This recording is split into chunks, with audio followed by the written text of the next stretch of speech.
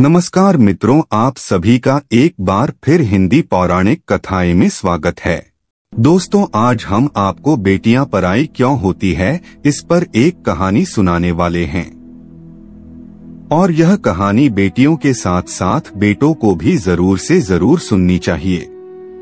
आज यह कहानी बेटे या बेटी ने सुन ली तो उस व्यक्ति का कल्याण होने से कोई भी नहीं रोक सकता है। दोस्तों, भारतीय समाज में बेटियों को पराया मानने की धारणा अनेक दशकों से चली आ रही है।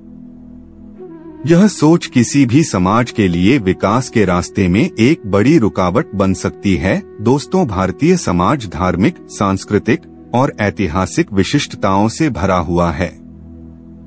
बेटों को पुरस्कार और सम्मान के साथ देखा जाता है, जबकि बेटियों को पराया मानने की परंपरा सालों से जारी रही है। आज जो भी इस कहानी को सुनने वाला है, उसकी तो किस्मत खुलने वाली है। दोस्तों कहते हैं कि कई लोग जो भी इस कहानी को सुनता है, उसका जीवन में कल्याण होना निश्चित है, और जो इस कहानी को नहीं सुनता है, उसके जीवन में परेशानियाँ आएगी नई नई और उसे सुख की बजाय दुख ज़्यादा मिलेगा। दोस्तों, ईश्वर कहते हैं कि जो भी व्यक्ति अच्छे तरीके से पूजा पाठ करता है, उसे मैं स्वीकार करता हूँ। उसकी हर मनोकामना को मैं पूरा करता हूँ। वीडियो में आगे बढ़ने से पहले अभी ही वीडियो को लाइक कर और नीचे कमेंट बॉक्स में लिख दो सच्चे दिल से जय जय बजरंग बली इस कहानी को सुनने के बाद दूध का दूध पानी का पानी हो जाएगा। कुछ समाजों में पुरानी सोच या धार्मिक अनुष्ठान के कारण बेटियों को पराया समझा जाता है। यहाँ तक कि कुछ लोग इसे धरोहरी परंपरा के भाग के रूप में भी देखते हैं, जिसमें लड़की को उसके पति के घर जाने का तत्काल इच्छुक होना समझा जाता है। अब यहाँ पर कुछ दोस्त ऐसे भी होंगे जो हमारी बातों को हल्के में लेंगे क्योंकि उन्हें वास्तुशास्त्र का ज्ञान नहीं है। इस पर एक कहावत भी प्रचलित है कि बंदर क्या जाने अदरक का स्वाद अर्थ यह है, कोई भी व्यक्ति वास्तुशास्त्र के बारे में नहीं जानता है कि बेटियों को कितना महत्वपूर्ण बताया गया है तो फिर इन उपायों में या वीडियो देखने वह विश्वास ही नहीं करता है, इसलिए दोस्तों सही सटीक 100 परसेंट जानकारी के साथ में जानने के लिए इस वीडियो से जुड़ जाना। दोस्तों वीडियो को आगे बढ़ाते हैं। दोस्तों, आपके पास अभी जितने भी काम है, उनको साइड में रख दीजिए ध्यानपूर्वक जो आपको बताया जा रहा है, उसे देखिए और सुनिए। तो दोस्तों, दिल थाम के इस कहानी को ज़रूर सुने। एक दोस्तों गाँव में एक समझदार और साहसी लड़की नाम राधा रहती थी। वह गाँव की सबसे प्रसिद्ध और खुशियों से भरी हुई थी। राधा पापा की एक ऐसी बेटी की जो कभी डरती नहीं थी, हर खराब परिस्थितियों में आगे बढ़ना जानती थी राधा दोस्तों। राधा के पिता, श्रीमान भूपति, एक गरीब किसान थे जो अपनी प्रिय बेटी के लिए सब कुछ करने के लिए तैयार थे। राधा उनके लिए गर्व की बात थी और उनके दिल में सबसे महत्वपूर्ण थी। राधा के पिता गरीब किसान होने के बावजूद भी अपनी बेटी को हाई लेवल की पढ़ाई कंप्लीट करें और उसके जितने भी सपने थे पढ़ाई से संबंधित उनको पूरा करने के लिए राधा का पिता दिन रात मेहनत करता था। राधा का पिता बेटियों को बोझ नहीं मानता था और न ही पराया धन समझता था। अदा का पिता मन में ही सोचता रहता था कि मैं अपनी बेटी को हर वह खुशी दूँगा जिसे मैं दे सकता हूँ। इस बेटी को मैं थोड़ी सी भी किसी चीज़ की कमी नहीं होने दूँगा। इस तरह से राधा क्या पिता अपनी बेटी से प्यार बहुत ज़्यादा करता था। राधा भी अपने पिताजी से बहुत ही ज़्यादा प्यार करती थी। दोस्तों, गाँव में अपने संस्कृति और रीति रिवाज के कारण लोग बेटों की खूबसूरती को गर्व से देखते थे। जबकि बेटियों को एक बोझ माना जाता था। इसी कारण से राधा के माँ बाप ने उसे सब कुछ पढ़ाने और उसे आगे बढ़ाने का साहस दिखाया। जब कभी भी राधा का पिता घर से बाहर निकलता और बाज़ार की तरफ़ जाता तो देखता था कि ऐसे लोग थे जो बोलते थे कि राधा के पिता से, अरे बेटी को इतना क्यों पढ़ाना है? वह तो पराया धन है। और बोलते थे कि, तुम राधा के पिता हो, राधा को पढ़ाने लिखाने से वह बेटे में परिवर्तित नहीं हो जाएगी, बेटी ही रहेगी। ऐसा लोग बाज़ार में जब राधा का पिता जाता था, तब सब यह बात बोलते थे और खेती तय की, तुम अपनी बेटियों को इतना लाड प्यार से मत रखो और उन्हें आगे की पढ़ाई न करा कर उनकी शादियाँ कर दो क्योंकि बेटियाँ पराया धन होती है, इस तरह की। बातें बेटी के पिता हनी राधा के पिता सुनता रहता था समय के चलते आगे एक दिन राधा के पिता को अचानक दिल का दौरा पड़ गया। वह बहुत कमज़ोर हो गए और अस्पताल में भर्ती होने की आवश्यकता हुई। राधा और उसकी माँ को अपने पिता को देखते हुए बहुत चिंता हुई।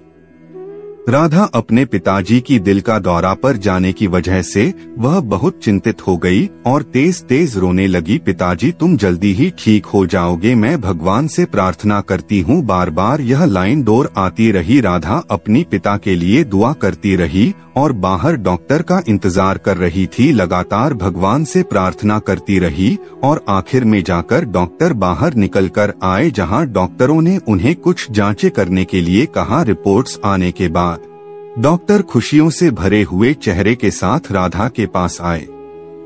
डॉक्टर ने कहा, तुम्हारे पिता ठीक हो रहे हैं, लेकिन उन्हें ठीक तरह से देखभाल की ज़रूरत है।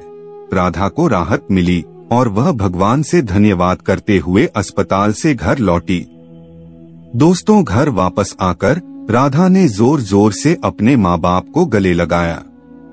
और राधा अपने माँ और बाप दोनों को ही काफ़ी देर तक गले लगा के रखा और एक ही बात बोलती रही, भगवान से कहा, है भगवान, चाहे भले ही मेरी जान ले लेना, परंतु मेरे माता पिता को कुछ नहीं होना चाहिए, ऐसा रो रो कर भगवान से कहने लगी। माँ बाप अपनी बेटी के इस प्यार को देखकर वह भी रोने लग गए और बेटी को खूब गले लगाया और आपस में माँ बाप और बेटी काफ़ी देर तक रोए रोती रोती बाप से कहने लगी, राधा, इस दुनिया में मेरा कोई नहीं है, आपके सिवा है, जो मुझे इतना प्यार और सपोर्ट करता है। आपने ही मेरी पढ़ाई पूरी कर भाई लोगों के इतने ताने सुनने के बाद और बार बार ऐसे बोलती रही, राधा, कि तुम्हें कुछ नहीं होने दूँगी, मैं मेरी जान क्यों ना चली जाए? और दोस्तों, आगे समय के चलते दिन और बीते। गए और राधा के पिता की सेहत में सुधार होने के बाद भी उनकी सेहत बिल्कुल ठीक नहीं हुई। एक दिन उन्हें अचानक से बहुत खराब लगने लगा। वे वापस से अस्पताल ले जाए गए। वहाँ डॉक्टरों ने जाँच की और उन्हें एक खराब समाचार सुनाया।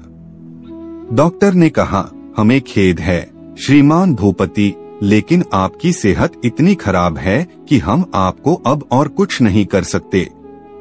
अपनों के मुँह से राधा ने अपने पिताजी को लेकर यह बात सुनी कि हमें खेद है, हम आगे कुछ भी नहीं कर सकते। जैसे ही दोस्तों यह बात सुनी राधा ने अपने पिताजी के लिए तो राधा चिल्लाने लगी और दीवार पर अपना सिर मारने लगी और अंत में राधा बेहोश हो गई। कैसे कैसे करके डॉक्टर ने उसे बेहोशी स्थिति से सही कर दिया गया जैसे ही राधा बेहोश की स्थिति उठी और अपनी माँ को रोते हुए देखकर वह भी रोने लग गई। दोस्तों, राधा के पिता ने धीरे धीरे अपनी बेटी के पास जाकर उसके हाथों को छुआ और अपनी आँखों में उसको देखते हुए कहा, राधा, बेटी, मैं तुमसे एक आखिरी विश्वास करने के लिए कहना चाहता हूँ। मैं अभी यहाँ से चला जाऊँगा। लेकिन मुझे यह शांति मिल रही है कि मैंने तुम्हें सब कुछ सिखाया है और तुम अपनी ज़िंदगी में बहुत आगे जाओगी। मैं जानता हूँ कि तुम अपने सपनों को पूरा करोगी और मुझे गर्व होगा कि तुम मेरी बेटी हो, राधा के पिता के शव का अंतिम संस्कार किया गया और उसके बाद से राधा ने अपने पिता के वचन को पूरा करने का निश्चय किया। उसने पढ़ाई को और मजबूती से जारी रखा और एक उच्च शिक्षा हासिल करके उसने गाँव के लोगों को यह सिखाया कि बेटियाँ बोझ नहीं, बल्कि समाज के लिए गर्व की बात होती हैं।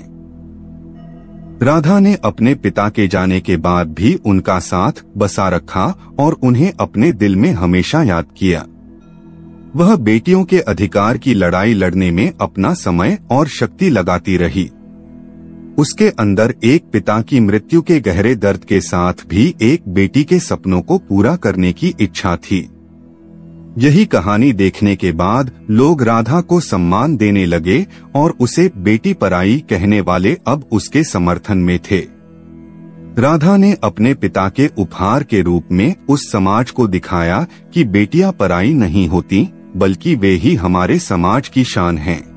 दोस्तों, हर समाज की रचना उसमें शामिल व्यक्तियों द्वारा निर्मित होती है, और बेटियाँ उन शक्तिशाली व्यक्तियों में से एक हैं, जो समाज के विकास और समृद्धि में महत्वपूर्ण योगदान देती हैं।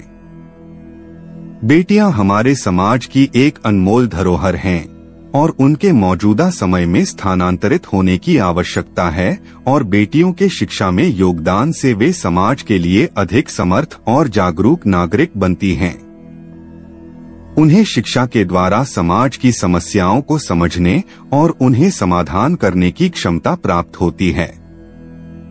बेटियों की शिक्षा से वे अपने परिवार, समाज और देश के लिए सकारात्मक परिवर्तन का अधिकारी बनती हैं। दोस्तों, बेटियाँ संसार के लिए शांति और समृद्धि के लिए महत्वपूर्ण हैं। उनकी सक्रिय भूमिका ने विश्व के विभिन्न क्षेत्रों में समझौते, संधि और सौहार्द को स्थापित किया है।